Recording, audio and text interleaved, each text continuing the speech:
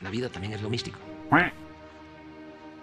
Pero un día vamos a hablar. ¿Saben cuántos han visto lo de la luz? Yo creo 10 millones. 10 millones. O sea, pero es eso.